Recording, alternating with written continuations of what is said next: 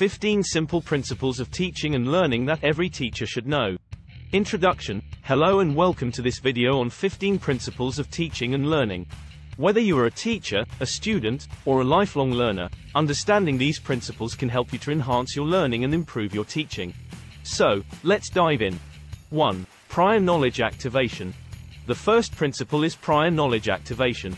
This means building on what learners already know to facilitate the acquisition of new knowledge or skills. As the psychologist David Ausubel said, the most important single factor influencing learning is what the learner already knows. 2. Interest and motivation. The second principle is interest and motivation. Creating a positive and engaging learning environment that fosters learners' interest and intrinsic motivation can significantly enhance learning outcomes. As the psychologists Edward Deci and Richard Ryan said, the more self-determined a person's motivation is, the better the person will be in terms of performance and well-being. 3. Feedback and reinforcement. The third principle is feedback and reinforcement. Providing timely and constructive feedback and reinforcement can enhance learners' performance and motivation. As the behaviorist B.F. Skinner said, the consequences of behavior determine the probability of its occurrence again. 4. Collaborative learning. The fourth principle is collaborative learning. Encouraging learners to work together in groups to achieve common goals can promote social interaction and knowledge construction. As the psychologist Lev Vygotsky said, learning is a social process. 5. Inquiry-based learning. The fifth principle is inquiry-based learning. Encouraging learners to ask questions, investigate problems, and explore new ideas in order to construct their own knowledge can foster critical thinking and creativity. As the philosopher John Dewey said, education is not preparation for life. Education is life itself. 6. Scaffolding. The sixth principle is scaffolding. Providing learners with appropriate support and guidance to help them achieve their learning goals, and gradually reducing this support as they become more independent, can enhance learning and promote self-regulated learning.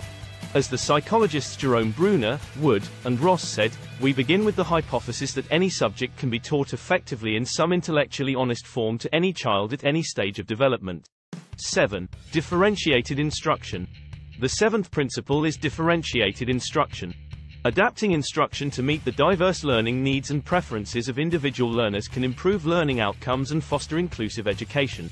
As the educator Carol Tomlinson said, differentiation is not a strategy. It's not an approach. It's not a program. It's a way of thinking about teaching and learning. 8. Active engagement. The eighth principle is active engagement. Encouraging learners to actively participate in the learning process through activities such as discussion, problem solving, and project-based learning can enhance learning outcomes and promote deeper learning. As the educators Robert Bonwell and James Eison said, active learning engages students in two aspects, doing things and thinking about the things they are doing. 9. Contextual learning. The ninth principle is contextual learning.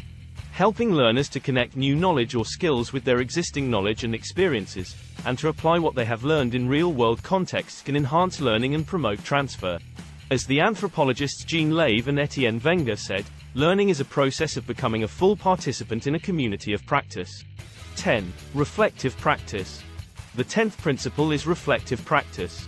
Encouraging learners to reflect on their learning experiences and use this reflection to improve their future learning and performance can enhance metacognition and self-regulated learning. As the philosopher Donald Schön said, reflection in action is a process by which professionals use their own practice experiences to generate. 11. Authentic assessment. The 11th principle is authentic assessment. Using assessment methods that are closely aligned with real-world tasks and contexts can enhance the authenticity and relevance of the learning experience, and provide learners with meaningful feedback on their learning. As the educator Grant Wiggins said, assessment is not a spreadsheet. It's a conversation. 12. Mastery learning. The 12th principle is mastery learning. Providing learners with opportunities to master the content or skills before moving on to more advanced topics can enhance learning outcomes and promote mastery orientation. As the educator Benjamin Bloom said, learning is not a spectator sport. 13. Metacognitive strategies. The 13th principle is metacognitive strategies. Helping learners to develop their metacognitive skills, such as planning, monitoring, and evaluating their own learning, can enhance their self-regulated learning and problem-solving abilities. As the psychologist John Flavell said, metacognition refers to one's knowledge concerning one's own cognitive processes or anything related to them. 14. Cognitive load theory. The 14th principle is cognitive load theory. Minimizing extraneous cognitive load, maximizing germane cognitive load, and optimizing the use of working memory can enhance learning outcomes and reduce cognitive overload. As the cognitive scientists John Sweller, Paul Ayres, and Slava Kalyuga said, cognitive load theory is based on our knowledge of human cognitive architecture, and is concerned with how information is processed by the mind. 15. Active processing.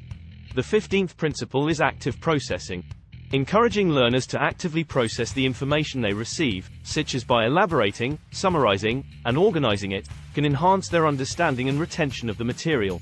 As the cognitive psychologist Richard Mayer said, learning is an active process. Kindly like, comment,